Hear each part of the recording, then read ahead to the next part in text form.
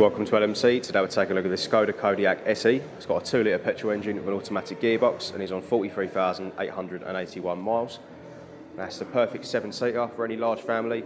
There's your extra space in the rear with two extra seats and you still get a nice amount of boot space. You've also got roof bars installed on the top, perfect for roof boxes, tents and bike racks. Big alloy wheels all the way around, sitting nicely on the car. Bright front lights and daytime runners with chrome features around the grille. Tinted glass on the side and rear for an extra bit of privacy. Really funky looking rear lights, giving it a nice modern look. You're also aided by rear parking sensors as well. And the boot's automatic. And in the back, as you can see, it's configured to seat up to seven people. You do still get a nice big boot. But of course, if you fold these seats down, you can see you would get a much larger boot space.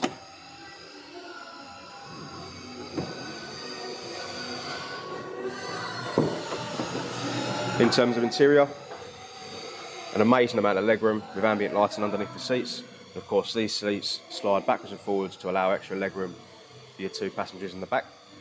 You've got an armrest that folds down, featuring cup holders, and the seats themselves are half leather, half Alcantara, so nice and comfortable and grippy. When opening the doors, you might notice this piece that folds out. That's just to protect it when opening against a wall or another car. It's a nice rubberized piece. When you open and close the door, disappears nicely. Same half leather, half Alcantara seats up front. All your window controls are on the door, door cards. With a boot release button down below as well.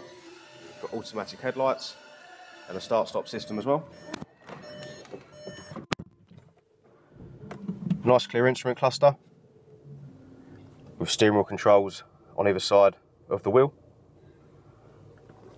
In the centre, we've got a clear touchscreen featuring maps and navigation, as well as radio.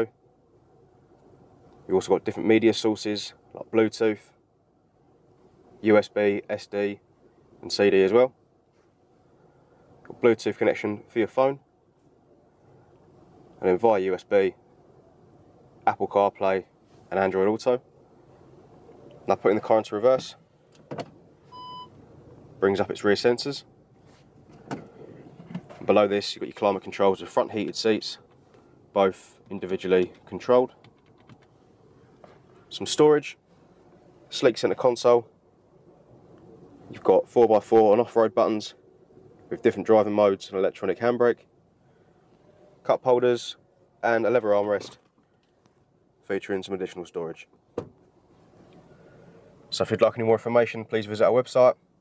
Thank you very much for watching.